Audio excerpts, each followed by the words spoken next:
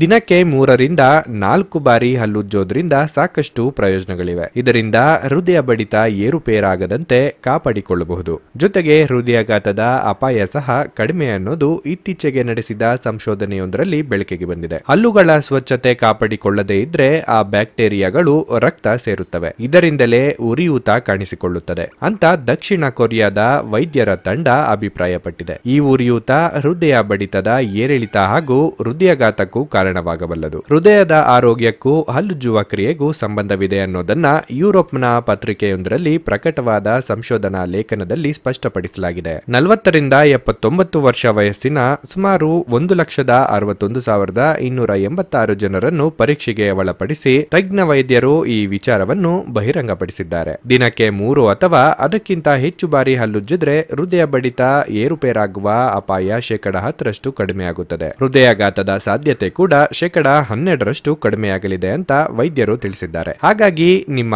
ಹಲ್ಲುಗಳನ್ನ ಆದಷ್ಟು ಶುಚಿಯಾಗಿಟ್ಟುಕೊಳ್ಳಿ. ಹೃದಯ ಆರೋಗ್ಯವನ್ನು ಕಾಪಾಡಿಕೊಳ್ಳಿ.